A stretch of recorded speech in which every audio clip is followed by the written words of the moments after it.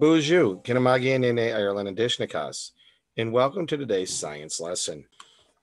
Today's episode Severe Weather.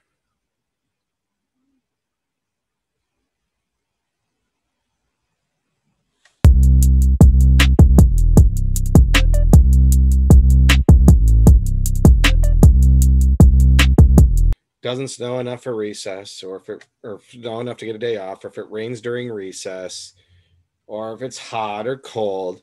We have a lot of things we can complain about. Sometimes we know what's coming, other times we're not prepared. Today's video is to discuss weather and severe weather, and just to give you a little bit of basic knowledge today. One of the websites I use a lot is NOAA.gov. It's from the National Oceanic and Atmospheric Administration. And there's a spot in there where I can type the current location. And as I record this on a Sunday afternoon, it was 66 degrees in Mount Pleasant. I can click right here to see the full forecast. And I'm going to do that for you. And that brings up a number of things. First, we have we have a visual of what's going to be happening weather-wise. It's going to be a beautiful day for our Monday school, it looks like, and Tuesday as well. Wednesday, a chance of showers but it's definitely going to be warmer than it has been. So maybe, just maybe, we put the snow boots away. Then you get a detailed forecast. Images, satellite images, visuals. Like I can click on this graph and I can find that there's a chance of showers today, but not a very strong chance, like 12%. So it's probably not going to rain much, if at all but this can this is a graph will allow me to say, oh, here's when I should be looking out, particularly if it's more of a severe time. But there are some other things here, like a forecast discussion. So I could click on that and I could actually read what the weather people are saying. And this is something that if you're interested in and want to click on, you can learn about the words here and, and what they mean. And eventually you could look at this and kind of make your own forecast. Something I may or may not do occasionally. Then we have the hazard hazardous weather outlook. That's a more important thing. This will tell the public and more specifically meteorologists whether we should be looking out for anything, whether it be snow or severe thunderstorms. And in this episode, we're focused more on the warm weather issues as we're trying to forget winter existed for a little while until we get into the fall, and then we'll worry about that. But I can see that Monday through Saturday could be some thunderstorms late week, but it doesn't mean that it's going to be severe. In fact, they suggest that spotter activation will not be needed.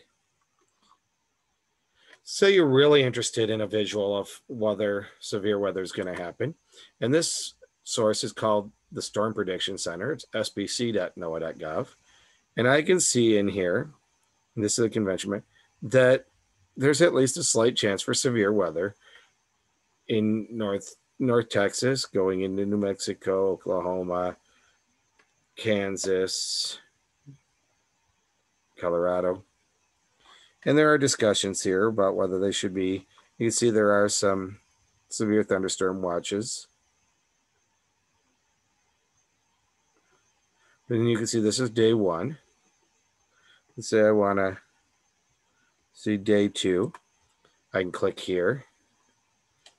And now day two, you can see there's a pretty decent chance of thunderstorms in Texas. If I was in Texas, I'd have my eyes open. Anywhere in the light green, you might get a thunderstorm, but probably nothing severe, although an occasional severe one can pop up.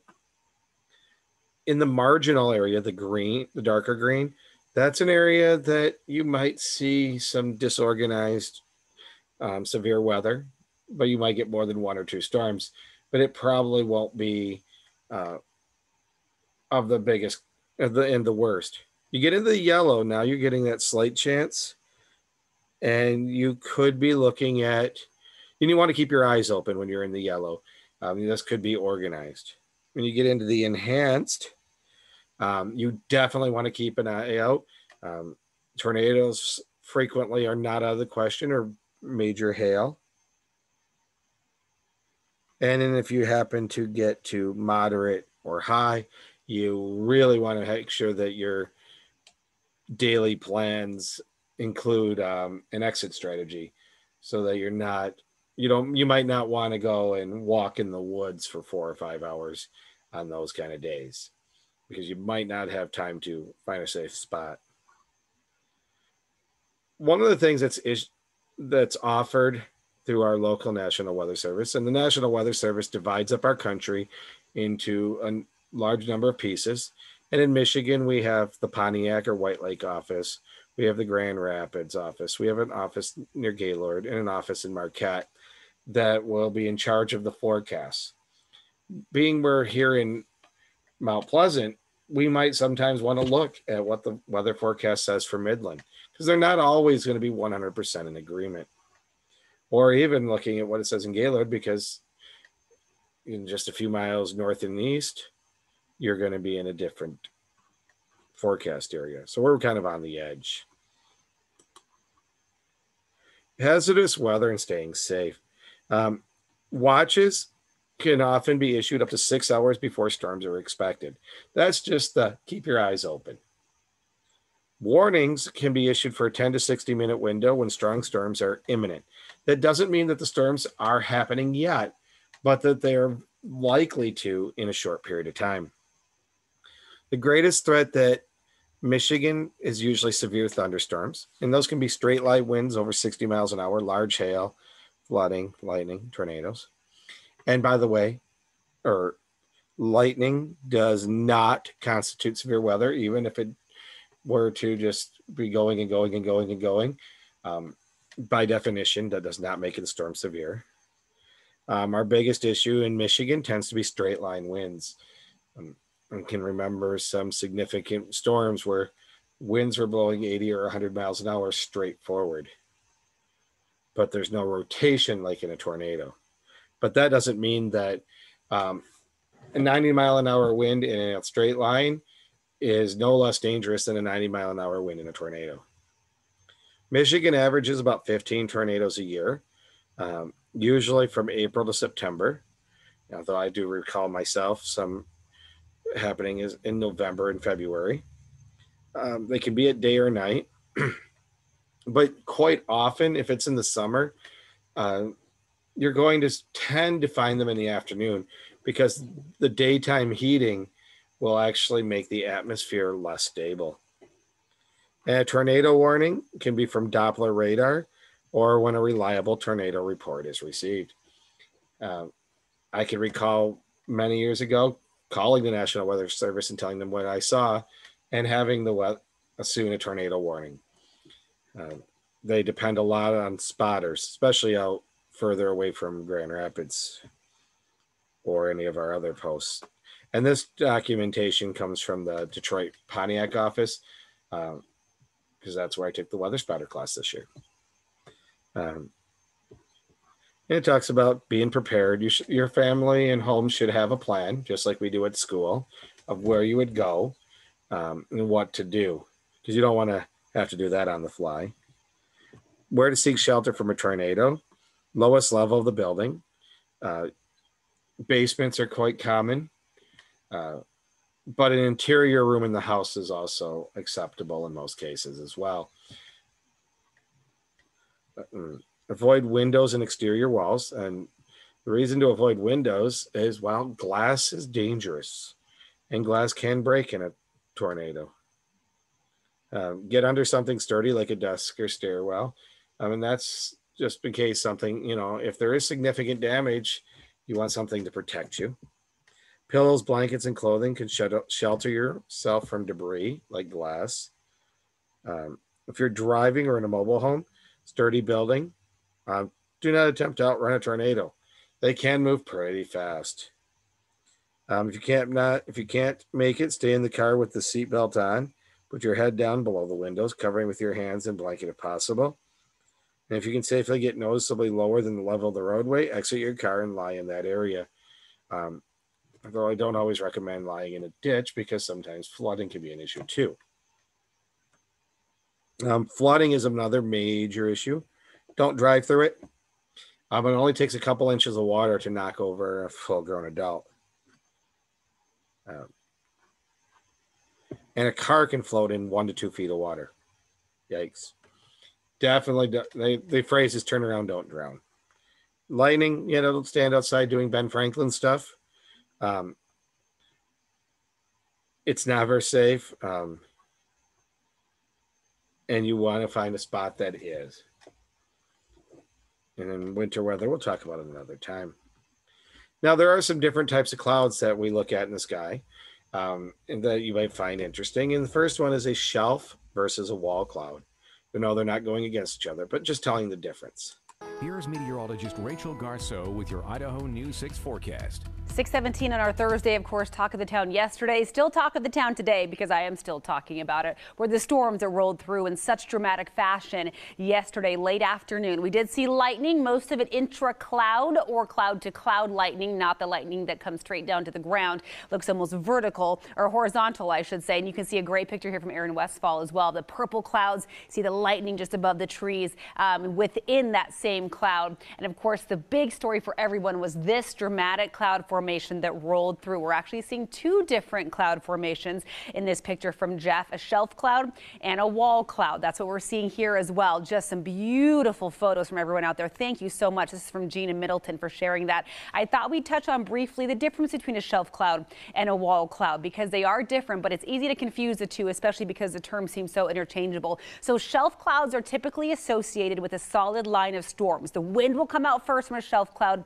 followed by rain. That's exactly what we saw saw last night. Wall clouds tend to be smaller, more compact. They maybe look like they're emerging or hanging from the base of a bigger cloud. Those are the ones we watch real closely because they can rotate on a vertical axis, which can eventually form a funnel cloud, which can eventually form a tornado, right? So here's a picture of a wall cloud down here on the base. This is that wall cloud. Almost looks like a wall uh, kind of straight descending from the bottom of that cloud. Look at this great picture from yesterday. This was in the Treasure Valley taken by Bandy. Here's that amazing shelf cloud, really dramatic. Underneath it, we are seeing those wall clouds there. And again, shelf clouds tend to spin on the horizontal and wall clouds on the vertical. That's why we watch them so closely. So that And now a funnel cloud and a tornado. Funnel cloud can turn into a tornado, but a funnel cloud by itself is not a tornado. Confused yet? Well, the explanation is more simple than you might think. Funnel clouds, like the ones spotted in Aurora and Elizabeth today, are not tornadoes because they didn't reach the ground. They just snaked through the air before disappearing. A tornado, on the other hand, is a funnel cloud that touches the ground, like the one that hit Thornton 38 years ago today one of the most destructive to hit the metro area. Now, in the last two weeks, the Weather Service has received 21 reports of tornadoes across our state, all of them reported last Sunday and Monday. Now, one other thing to mention landspouts. The Weather Service highlighted a landspout risk area east of Denver this afternoon. A bit unusual.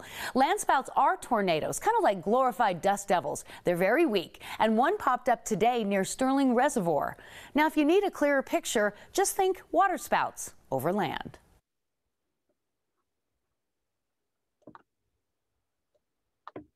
So a few references to finish this off. If you are a weather spotter, it tells you what to look for, and we're not so worried about that at the moment. But wind scale, and this is where we talk about 25 mile an hour winds could do some blow some things around, but it's not doing a lot of damage.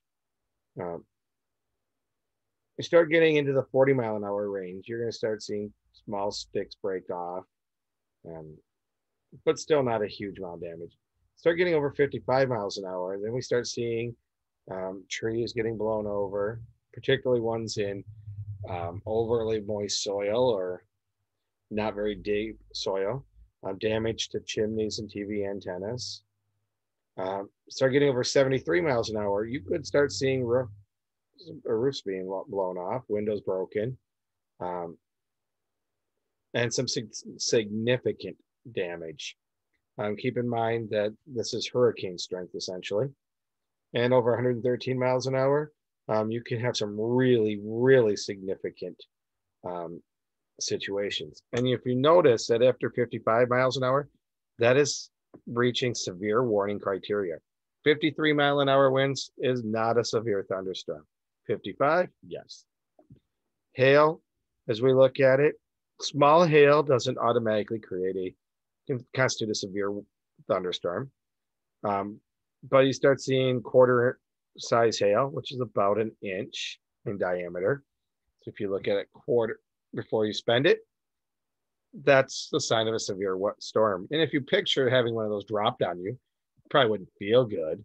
Um, and you get these things up here. Um, those can those could kill a person if they hit you in the head very easily and do immense amounts of damage. Um,